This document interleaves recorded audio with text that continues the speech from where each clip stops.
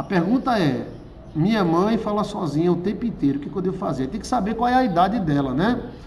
Porque todos nós falamos sozinhos. Jailson, tarará, tarará, tarará, é o ego superando o superego, na baixa da ego e tal. A gente conversa sozinho, todo mundo conversa sozinho. Todo mundo conversa sozinho, principalmente quando está no trono. Tem gente que bate papo, ainda fica com raiva e intrigado dele mesmo. Campeão de falar sozinho é a mulher, né? A mulher faz a pergunta, ela mesmo responde, ela mesmo fica com raiva. Né? Você fica perto da mulher. você fica perto da mulher para ouvir a mulher, você fica só assim, ó. Hum, aham, é, é. Hum, ela, aí ela faz a pergunta, aí ela mesmo responde, e ela mesmo fica com raiva da, da resposta e pega a briga sozinha. Depois ela diz, vamos fazer as pazes, me perdoe. E o cara tá só lá, hum, é mesmo, é. Então todos nós falamos sozinhos, né? Mas aí, é, algumas pessoas, com o tempo, desenvolvem muito essa capacidade de falar sozinho. Né? E é, até você falar sozinho é normal. Agora, quando você responde você mesmo, né? É, bebo, campeão é bebo, né? Bebo vai andando, aí, eu vou lá lugar, é um bate-papo danado. Um dia eu tava sentado, lá vi um cara, eita, vai, velho, eu digo, eita, rapaz, vem uma multidão aí conversando besteira. Era um bebo só conversando sozinho. Você tá errado. Você... Aí parava assim, ó. Aí ficava com o dedo assim. Aí equilibrava e você tá errado. Você tá errado, viu? Os caras diziam que era conversando com Satã, né?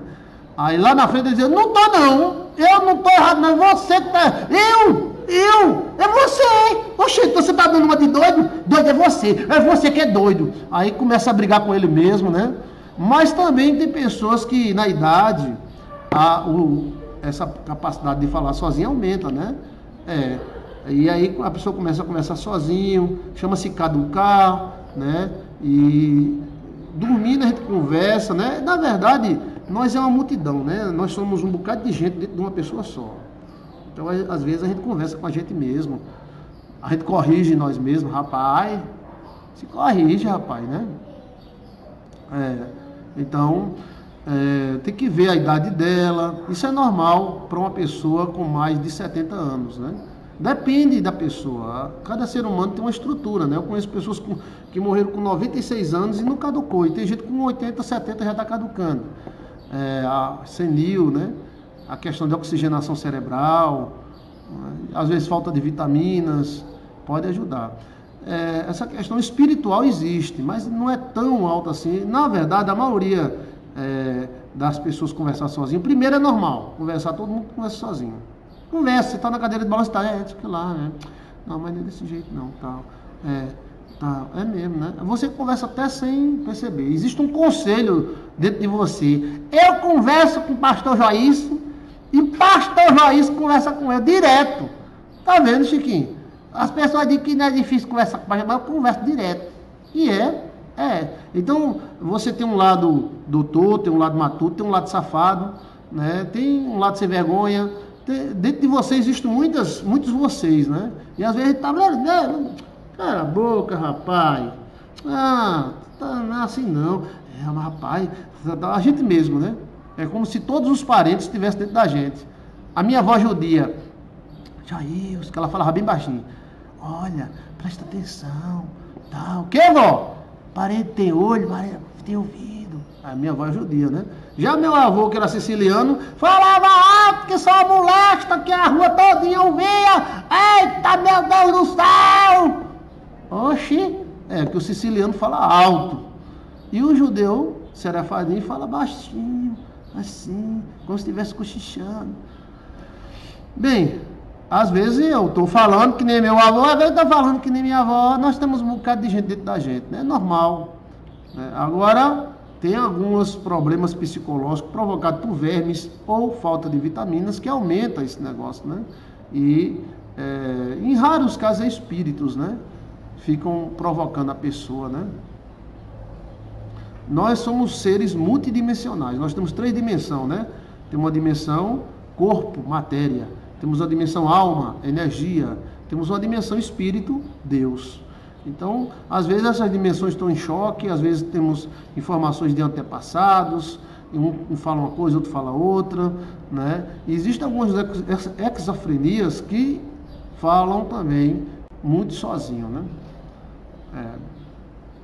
Mas aí é uma coisa a se observar, né? Bem, na, na maioria dos casos, eu posso até arriscar uma 90% dos casos é totalmente normal. Totalmente normal, normal, né? É, falar com as coisas, falar consigo mesmo é normal. Ah, se, se a Freud falar do ego, superego, tal, tal, né? Id, ego, superego. Quando o id, o ego, o superego se entra em descontrole, tal, tal, tal, tal, tal, aí um quer mandar mais do que o outro, dá baixa da égua tal.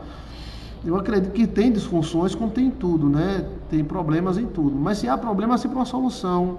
E na maioria dos casos, se for espírito, que é um. Né? Aí pode ser que o espírito tenha, tenha criado uma personalidade, tirada do DNA, que sufoca a pessoa. Nós temos várias personalidades dentro de nós. Eu, não, eu acredito nas múltiplas inteligências e acredito nas múltiplas personalidades. Nós não é uma personalidade só, nós somos muitas, né? Aí tem um caso do cara que nasceu com duas cabeças, né? Nos Estados Unidos, é um caso que foi notório nos Estados Unidos. O cara nasceu com a cara para frente e uma cara para trás. É. Aí tem a cara para frente com boca, nariz e as ó e tudo. E tem uma cara para trás com a mesma coisa, né? E o cabelo repartido no meio, um corpo só, um coração só, né, com duas caras, uma para frente e outra para trás. A displasia ali foi somente na cara e na personalidade. Então eram duas personalidades. A personalidade da frente era boa e queria tudo bem. E a personalidade de trás era ruim e xingava e chamava muitos palavrões. Eita, que confusão! É confusão, Chiquinho. Se você botar aí, ó, deixa eu ver se eu, se eu acho aqui. Ele nasceu nos Estados Unidos com duas caras. E ele começou a brigar com ele mesmo, né? Começou a brigar com ele mesmo e ele odiava o cara da cara de trás. E o cara da cara de trás odiava ele. Homem, deixa eu colocar aqui no Google. Homem que nasceu com duas face, face, uma para frente, outra para trás, outra para trás. Vamos lá, pá, vamos ver aqui se aparece a foto dele. Aqui, ó, imagens. Ah, tá vendo aqui imagens? É, cadê? Aqui, ó. Vou mostrar para você agora, tá vendo? Mesmo corpo. Olha aqui, deixa eu ver se dá para ver, para não atrapalhar o foco. Para não atrapalhar o foco, tem que ir logo que o meu telefone tá só com 1% correndo. Aqui, ó. Eu vou botar longe assim para não atrapalhar o foco, tá? Se eu botar próximo, aí o foco atrapalha. Tá vendo que ele tem uma cara para frente e outra para trás, ó? Essa cara de trás era ruim, xingava, falava mal. E essa cara da frente era educada e gentil. E essa cara de trás odiava a cara da frente. Ó, só tem duas orelhas, tá vendo? Aí, ó, a cara da frente tem tudo: nariz, boca, bigode, tá vendo aqui, ó? Deixa eu ver aqui outra foto outra foto que mostrava ele aqui, ó, né? E a outra, a outra face também pensa. E a outra face pensa coisas negativas. E o da frente pensa coisas positivas. E eles pegaram uma briga. E um odiava o outro. Imagina o cara odiar um cara que está nas costas do cara. Hã? Não dá nem para separar, né? É, que coisa. E já houve vários casos no mundo desse, desse tipo, né? Vários. Às vezes uma face pequena, às vezes uma face grande. E tem também comprovado, pessoal, o celular. Pessoas que nascem com dois olhos, um olho de um lado, do, e são duas personalidades no corpo só. Não tem nada de diferente, nariz só, tudo, mas são duas pessoas no corpo só. Não é loucura. Tá? Não é loucura. Então, é o que? Né? Então, é, é, é, essas duas caras pegaram briga e o da frente decidiu matar. Porque o da frente tinha mais força do que o de trás. Então, o, o da frente fez uma carta dizendo que ia se matar, mas não queria que enterrasse ele com a outra cara de trás, que serrasse a cara e enterrasse a cara em outro lugar. E assim foi feito. Ele se matou, né? Esse cara que eu mostrei para você se matou e o médico decidiu fazer o que ele queria. Cerrou e tirou e enterrou em outro lugar e a, o corpo foi. Mas essa parte de trás era muito xingava, era muito ruim, né? Então falar sozinho é algo extremamente normal. Porém, é, é uma coisa bem mais complexa do que você imagina. Né? Porque temos várias personalidades dentro da nossa própria personalidade. Que coisa, né? É. E agora tem que ter cuidado também, porque existem personalidades que os espíritos provocam.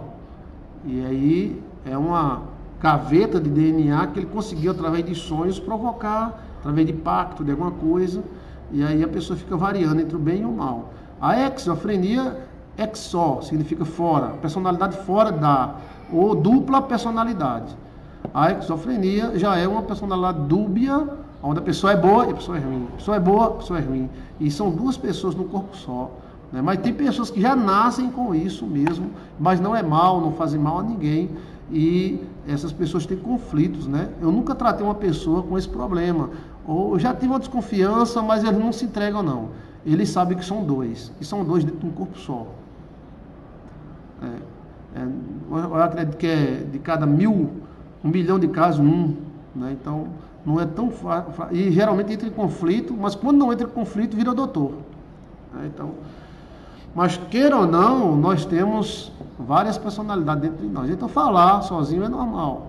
Agora, entre a normalidade e a loucura, é, quem determina a loucura ou a normalidade chama-se é, intensidade. Ter ciúme é normal, mas se for demais é loucura. Falar sozinho é normal, mas se falar demais é loucura, ou uma espécie de loucura. Pode ser até falta de vitaminas, conflitos, conflitivos, né? E isso acontece muito na velhice. Espero ajudar, mas eu vou fazer um vídeo só sobre isso, explicando melhor sobre falar sozinho, dupla personalidade, né? O que, que eu acho sobre personalidades, né, que nós não é uma personalidade só, nós somos um conjunto de coisas, somos uma multidão de pessoas dentro de uma pessoa só, e que podemos é, despertar instintos e DNAs antigos. E esses instintos, esses DNAs antigos, têm as suas opiniões, né? Podemos conflitar com, com a gente mesmo, ou ter uma, uma imagem negativa da gente mesmo. Né? Isso é, é coisa profunda, né? Profunda, dá, dá pano para as mangas, não dá? Profunda, profundidade das águas. Deus te abençoe. Vamos embora. Até amanhã. O Senhor Deus te abençoe, te guarde, te ilumine. Em nome do Senhor Jesus. Amém, amém e amém. Olha uma pergunta aqui legal. Os horários dos sonhos influenciam no acontecimento? Qual a possibilidade de um sonho acontecer? Ah, gostei. É Fernanda Mello. Fernanda, eu gostei demais da pergunta. Vamos lá. Fernandinha, Fernanda Mello, Deus abençoe. Ela pergunta o seguinte: vamos repetir a pergunta. Pergunta, deixa eu ampliar aqui. Vamos lá. O horário dos sonhos influencia no acontecimento? Sim. Qual a probabilidade de um sonho acontecer? Então vamos lá. Gostei demais da pergunta. Foi nota 10. Então, os melhores, os sonhos que mais acontecem são os sonhos amanhecer no dia. Entre 3 da manhã e 5 e meia. Né? São os sonhos no estado alfa. E esses sonhos têm uma probabilidade mais, mais deles. Mas como os homens dormem em horário diferente, às vezes os caras entram em estado alfa diferente. Né?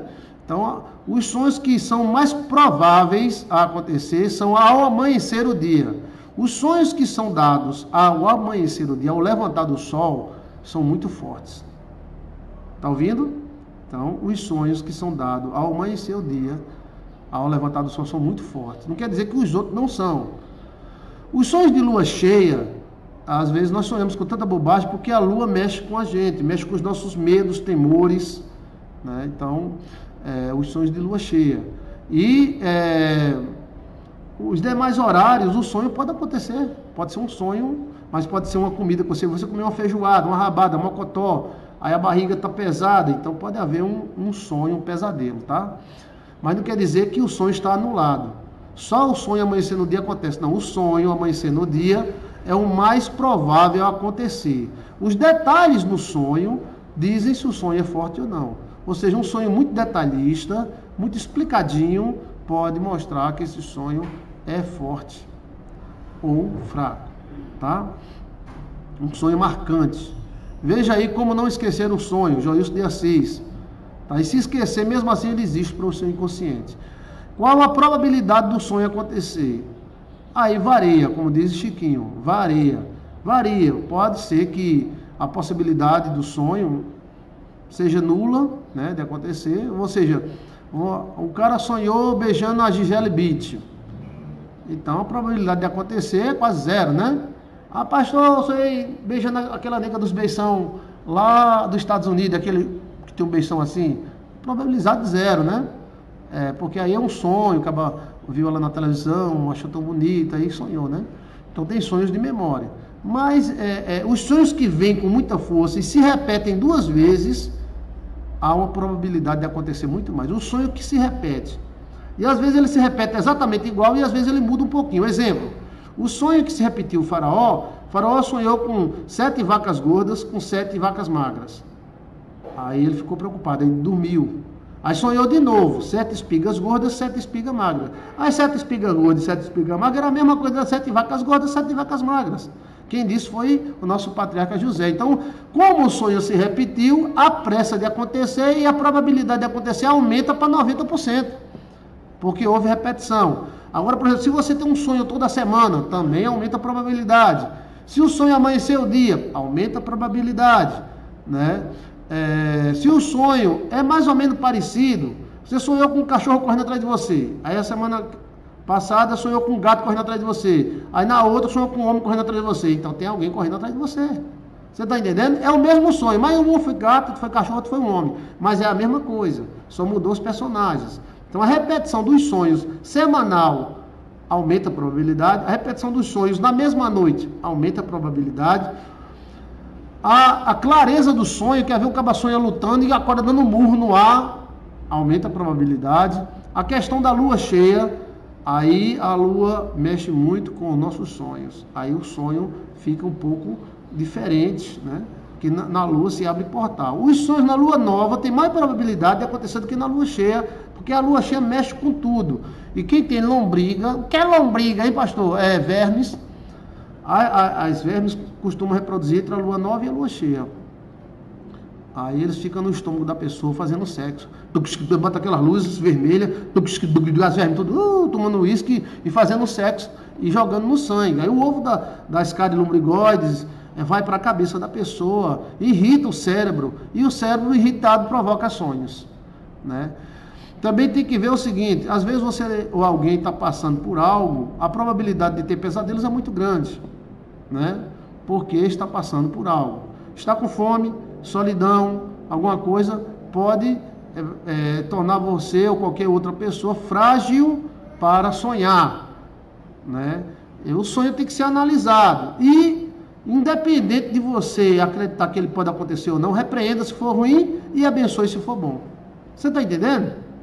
Ou seja, às vezes o cara, rapaz, eu sonhei, eu sonhei que estava em Moscou dançando forró né, na boate consagrou. Era o sonho de daquele cara do, da sofona, né? Luiz Gonzaga. Então, você sonhou com a Gisele Bündchen beijando você. Ana Hickman.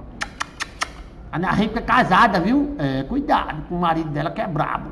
Não, mas foi só um sonho. Aí, de repente, Chiquinho, você sonhou com a, com a Gisele Bündchen, né? Que é o padrões de beleza, né? É. Aí, de repente, vem Chiquinha te dá um beijo. A Gisele Bündchen, a Ana Hickman, foi usada só como imagem. Na verdade, é a Chiquinha que vai dar um beijo. Eita, homem, já escovei os dentes, é, escovei a chapa que eu tenho, que eu fiz lá em Galileu, a chapa de dente, e já estou pronta para beijar.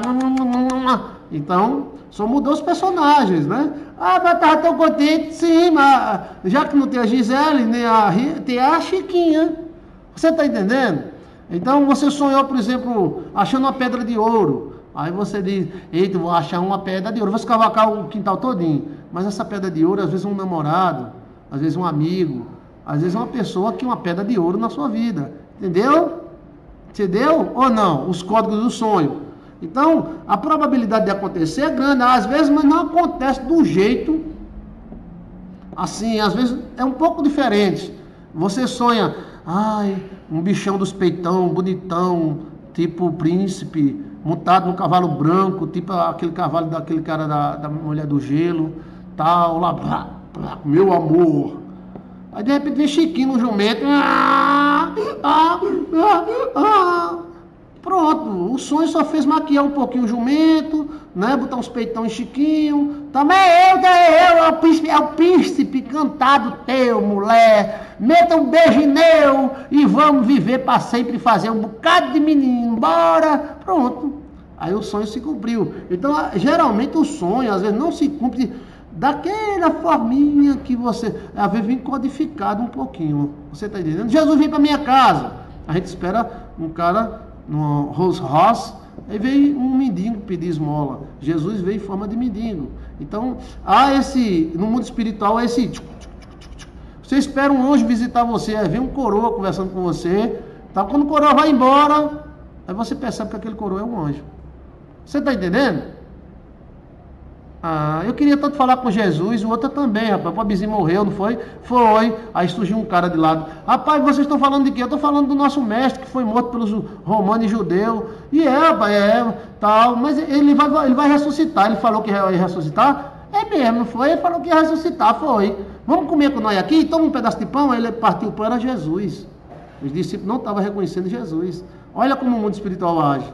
Os caras andando com Jesus, falando de Jesus para Jesus e não estava conhecendo Jesus.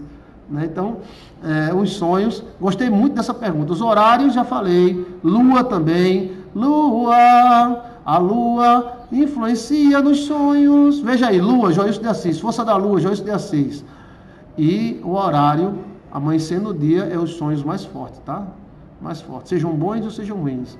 Qual a probabilidade? Eu falei. A probabilidade vai da forma do sonho do jeito do sonho. E a gente pensa que uma coisa vê a outra. Pensa que um cara num um cavalo alazão, tipo 2 milhões de dólares, vem um cara no jumento. Mas vem, vem e vem. Porque há uma filmagem, um, uma roupagem no mundo espiritual. E essa roupagem às vezes é trocada, né, disfarçada. Muito obrigado pela pergunta, tá? Deus te abençoe e te ilumine. Vai ajudar muita gente essa pergunta. Deus te abençoe. Muito obrigado. Façam-me perguntas, façam-me perguntas. Como é que você faz pergunta Joyce de Assis? É, você vai aqui no busca do YouTube, aqui em cima. Aí você fala, eu quero saber isso, Joyce de Assis. Eu quero saber aquilo, Joyce de Assis. Eu quero saber sobre sonhar com porta. Joilson de Assis, aí aparece três vídeos. Quero saber sobre sonhar com quintal. Joilson de Assis, aparece dois. Quero saber sonhar com casa, aparece doze. É, sobre dízimo, aparece quatro né? E assim por diante. Tá? Muito obrigado. Deixa o seu like. Amanhã eu volto, 9 horas da manhã. E vou ficando no ar e vou conversar com todo mundo, tá? E às 3 horas da tarde. Deus abençoe todos vocês. Muita paz e muita luz. Ótimo final de semana. Cheio de paz, cheio de amor. Lembre-se, tudo vai passar. E Deus vai nos dar dias de prosperidades e graça. Deus vai nos dar. Não vamos cair nessa é, do, do, do quanto pior, melhor. Não. Existem pessoas que têm interesse que quanto pior, melhor. Eu não tenho esse interesse. Nem Deus também. Né? Muito interesse na jogada, muito interesse na jogada. Cuidado para não ser fruto da mídia. Né? Tem muita gente com interesse, com medo, né? É. Eu acredito em Deus. Eu acredito em Deus. Preste atenção, quando é que o Brasil vai olhar para a televisão com reserva. Quando? Existem mecanismos, existem interesses financeiros muito grandes. Não é pouco, não é muito mesmo, tá? É briga de cachorro grande. Vá viver Deus e acredite em Deus, vai dar tudo certo. Vai dar tudo certo. Que os anjos do Senhor ajudem o nosso, o nosso Brasil, que os anjos do Senhor ajudem o mundo e que tire o mundo desta crise e nos faça prosperar e viver bem. Tá? O mundo só será dominado pelo anticristo quando a igreja for embora. Enquanto a igreja não for embora, meu amigo, ele vai tentar várias vezes, mas não vai conseguir. Muita paz e muita luz no teu caminho. Deus te abençoe, Deus te ilumine. Acredite no bem e ele vai chegar do teu lado. Paz e luz, tá? Tchau. Amém.